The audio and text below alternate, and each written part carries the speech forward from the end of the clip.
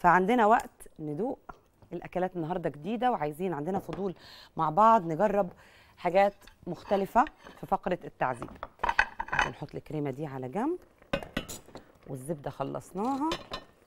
وأقول لكم رأيي الصريح. تعالوا ناخد قطعة من الجزر أهو المحشي. مستوية تماما. وناخد هنا قطعة من اللفت. بدبس الرمان هما جنب بعض عشان نفس الصوص تقريبا. والتمر الهندي نحط ده هنا. وناخد شوكة وسكينة وندوق. تعالوا نفتح الجزر.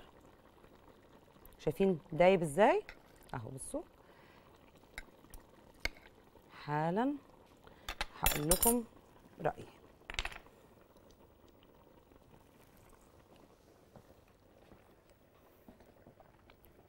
يجنن. يعني قاعدة بقول وأنا بدوقها أنا ليه ما بعملش محشي جزر كتير؟ حاجة متوفرة جدا دلوقتي كمان الموسم بتاعه طعمه فيه سنة حلاوة كده لذيذة. تعالوا نجرب اللفت هو اللي عندي فضول أكتر ليه. نقسمها من النص. بصوا شايفين مستوي إزاي الرز؟ ومتفلفل. ناخد شوية من الصوص مع قطعة من اللفت قلي اللفت ده زي ما قلنا بشيل المرار وبضيف لاير برضو من النكهة.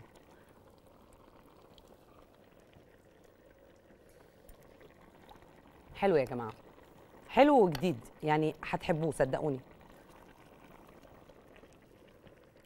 رائع. لازم تجربوه. يعني من باب الفضول الواحد يجرب حاجات جديدة. تعالوا ناخد اللي بالطحينة. ناخد واحدة أهي.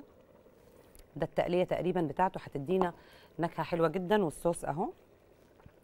ناخد معلقة وشوكة تانيين. هيبقى عندنا تحدي الشوربة في دقيقتين على فكرة.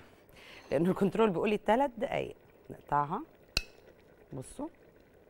الرز متفلفل تماما. هقول لكم حالا هاخد حتة مع التقلية كده عشان أقول لكم رأيي شوية من الرز.